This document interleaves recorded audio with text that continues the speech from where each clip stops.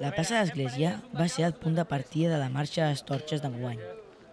Els cardedeuencs podien encendre les torxes conjuntament i desplegar les estimades senyeres. El centre del poble es cobria de foc d'esperança i senyeres de color groc i vermell. Per acompanyar la caminada, els bastoners de Cardedeu anaven picant pels carrers i ballant al ritme de música. Aquest és un acte sense cap tipus de manipulació per part dels partits polítics, per això, durant el transcurs de la marxa a les torxes, no es podien diferenciar els diferents partits que hi van participar. Al final de la marxa, tothom qui volgués podia recitar un o dos poemes de diversos autors catalans. La suma d'aquestes coses van fer una nit màgica i plena d'esperança. Si em venen ganes de fer-ne, em faré venir un restrenyiment.